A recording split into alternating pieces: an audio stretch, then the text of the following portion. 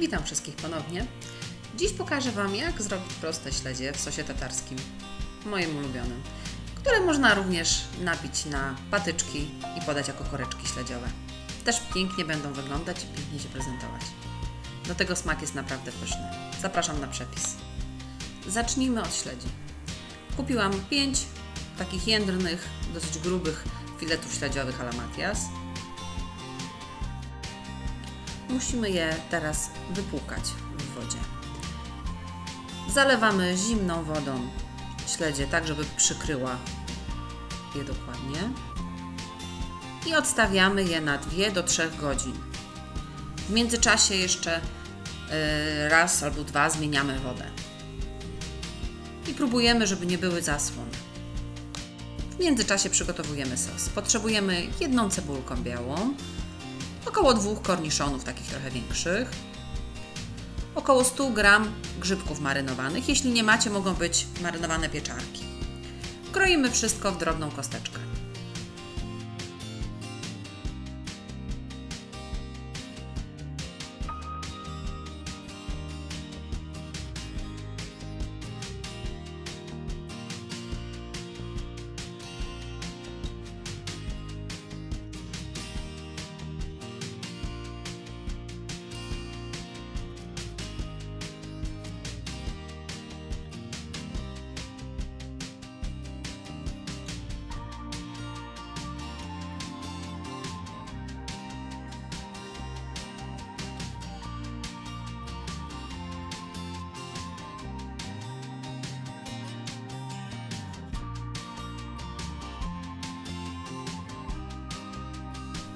Do pokrojonych warzyw dodajemy 3 łyżki śmietany 18.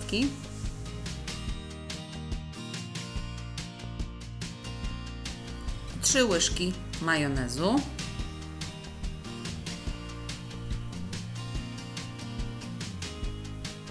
Doprawiamy pieprzem i solą.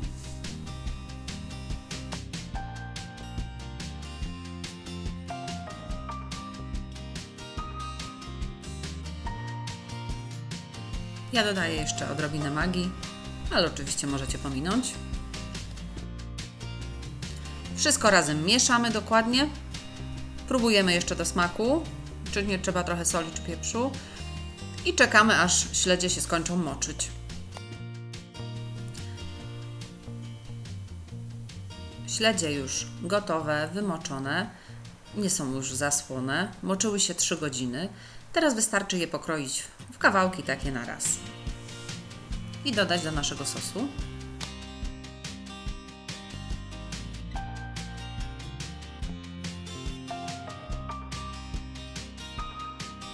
Śledzie wymieszane, gotowe są w zasadzie już od razu do spożycia, ale najlepiej smakują po chociaż 2-3 godzinach, jak się smaki troszkę przegryzą.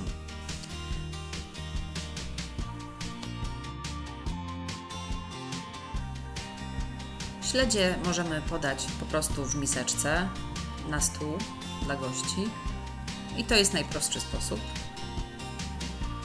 Ale możemy również przyrządzić je w postaci koreczków. Wystarczy na wykałaczkę nabić małe ogórki korniszonki. Możemy takie dostać bez problemu w sklepie. Na to 1-2 kawałki śledzia.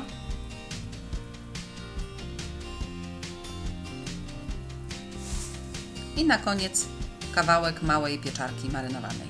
Chyba, że macie swoje małe grzybki. To jak najbardziej.